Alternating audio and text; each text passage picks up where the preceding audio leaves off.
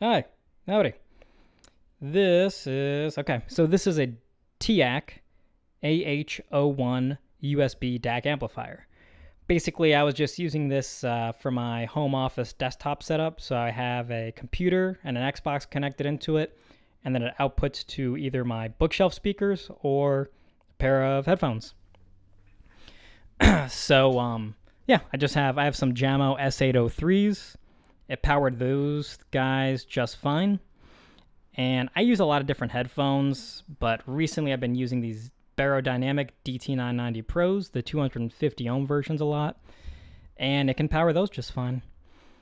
Just for for bookshelf speakers, it's it can get more than loud enough for what I need in the small home office setup, and for headphones, it can rupture my eardrums if I have the volume all the way up. I don't think that it will necessarily go loud enough to blow out headphones or anything like that, but uh, it can definitely get loud enough. It can get uncomfortably loud if that's what you're looking for in most headphones. I don't know about 600 ohm headphones. I haven't, the most that I've gotten is 250 ohms in there, but it's enough for me. Pretty, um, oh, as far as it being a headphone amplifier too, if you've got an ear attuned to hi fi audio, doesn't have as much soundstage or uh, it, it's a little bit more harsh too than some of my other headphone amplifiers. But I used this thing for six months and I never really noticed that. I think I could fix some of that with EQ. But if you're lo- if you're looking for a really really good headphone amp, this is probably not the solution for you. But for me, it was fine. For most people, it's probably fine as a headphone amp too. Um, pretty bare bones and inputs and how it works. Just got a power button, off, on, on. Oh, I made the mistake. I can't believe I did it. Um, I'll explain that in a minute. Power on. It's got a button for which input you have selected. It'll blink if you've got an input selected, but there is no connection. So in this case, I've got USB selected, but I don't have a USB cable connected to the back.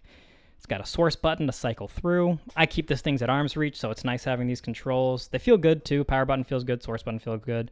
Volume knob feels good, and of course it's got a quarter inch headphone jack. Power button problem I was talking about, if you don't press the power button in all the way, it will power on at this point, but it will also snap right back and power off. So if you have speakers going into it, you'll hear a poof, poof, poof, when you release it. Um, so yeah, just make sure it's pressed in all the way, but it's fine. And then on the back, turn this off real quick. On the back, you've got your left and right speaker inputs, a subwoofer out, two line inputs, optical input, coaxial input, and USB input to use it as a DAC. And as a DAC, seemed to work great for me. I had my computer plugged in via USB here. Um, and without anything playing, I could turn the volume all the way up and I wouldn't hear any noise. Um, as far as the optical connection worked from Xbox, worked fine. I don't really know that I can. I don't even know how to review that. Sounded fine though. I never used a record player with it though. I never used a subwoofer with it, so I can't speak to how well it works for those things. Based on everything else though, I'm sure that it works fine. But that's pretty much it for the Teac. That's that's how it works. It's got a remote control. Let's see if I can find that real quick kind of a cheap generic remote control. I think they use it on a lot of products because it's got some stuff on here that you can't do with the amplifier. So on the top, you've got your inputs, but here you've got a play, pause, shuffle, repeat button, and a menu button. I don't think those work with this amplifier. This amplifier cannot control things on your computer, at least according to the instructions. But maybe you can set it up for through infrared or something. I don't know. I've never done it, and I'm never going to. But you've got volume controls and inputs, so that's pretty useful if you're using this thing far away. I always use it as an arms arms length reach away, so I never needed the remote control. And then here on the instruction manual, um, I just got it open so you can see some specifications if you're interested. I'm not that interested, but you might be. Most notably, the rated power output is 22 watts at 8 ohms and 43 watts at 4 ohms. But yeah, there you go. A little overview of the Teac AH01. Um, if you find it for cheap on eBay and you're looking for an integrated amp for your desktop, I think it's a great buy.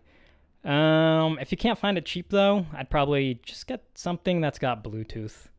Bluetooth is nice. This thing is old. I think it came out in 2012. It's got drivers though. If you're using it on Windows or Mac, you can get drivers that came out in 2014 and it will still work fine. Well, there it is. Teac AH01.